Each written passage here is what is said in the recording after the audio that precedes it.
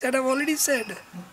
Albert has a big story to tell us, and he's reluctant because I've I've interviewed him many times on this. Okay, he's laughing. Okay, so so we are at Sukur in the village, a very scenic village of Sukur, and this is Albert's lovely house with his lovely garden and things like that. Uh, but the story is not uh, the house. The story is Albert's uh, family tree or listing of Gouveias. Not necessarily all connected, no? How many on your list total? I have about 3,000 so far. Wow. You wouldn't think that there were so many Gouveias in Goa to start with. No, it's a rare surname. Well, let us put it this way all are not Gouveias. They are all related to the some Gouveia or the other. So that is how I built it up. It started with the desire just to know what is the immediate family uh, tree. Yeah. And in the process, I have built up and connected so many more and found out so many more relationships that one would normally in a lifetime forget or lose as you go along. Like many Goan Catholic surnames, it is a Portuguese imported surname, no? Yes, very much. Relating to a village or a tree or a pla- what? It's related to some village in Okay. Portugal, but it must be come from, you know, the way the names were given. It was Yeah. either because of the person who was the godfather or the priest who baptized the initial this. Yeah. So where do you? Sorry. Yeah, Where do you find Gouveias in uh, Goa today? You find them all over in Sukur. You find quite a bit.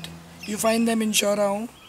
You find them in uh, here and there, but mostly Shorao, Sukur is where you will find most of the Gouveias, and Salvador Mundo also. Bardez, that means only Bardez. Only mostly, Bardez? Mostly Bardez. That is what I have found. I have not found very much other places. Manglo, Bombay, East You Indian. get in uh, in uh, Nagpur, not Nagpur, uh, Deolali, you get a lot of Goveas, G O V E A S in uh, Deolali. They are Mangalorians?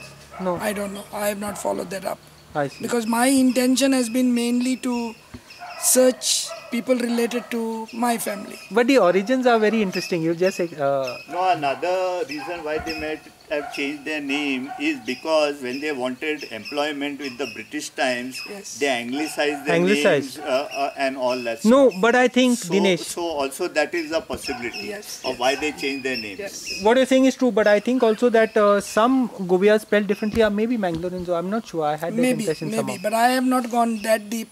Neither have I tried to trace it through Komnidat records right into the further past than in this what the church records have.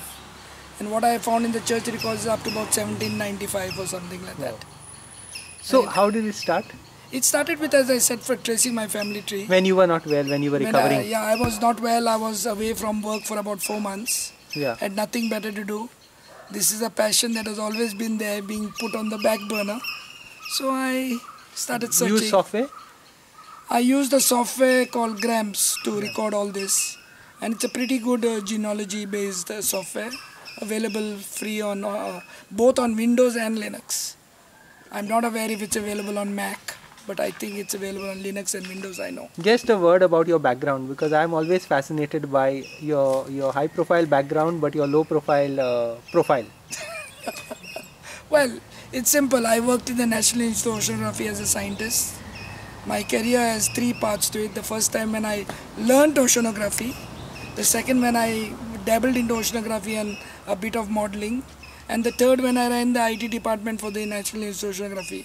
A You're, monster that grew up after the 90s. you're conveniently forgetting to tell us that you're an IITian who studied in IIT Uh, where? yes, IIT yes, what? IIT Bombay. Bombay, computer sciences. No, not computer science, physics. Physicists dabble in everything. That's what they say. And of course, you've been a great supporter of the open source free software source. movement in Goa. Actually, the start of when open source came into Goa, uh, I was involved through a person called Shankar Doraiswamy, Yeah, who first started dabbling in Linux. this youngster. Now, where is he now? He's still in National Oceanography In Goa? in Goa NIO. I see. I thought he had gone somewhere, posted no, somewhere else. no, No, no, he's very much in NIO. Shankar. So I we started dabbling in it, installed it first in NIO. It's Which year? big, it's a 90s? 1991, 92. Wow, that's really early, yeah. early days. In fact, we had got the full software on a Three and a half inch tape drive, tape drive. which we could not read in Goa. Send it to Bangalore. It was read there, transcribed into another media, and sent back to us. The other media being five and a half inch diskettes. Five in diskettes and uh, this. My goodness, this is ancient so then history, we yeah. installed it, started using it in NIO, and then it spread. Wow, That's it. Yeah. fascinating. So early days. Thank you. Amazing. Thanks Yeah. so much. Always another excuse to get to know another interesting personality. Thank you so much. Thank you. So in that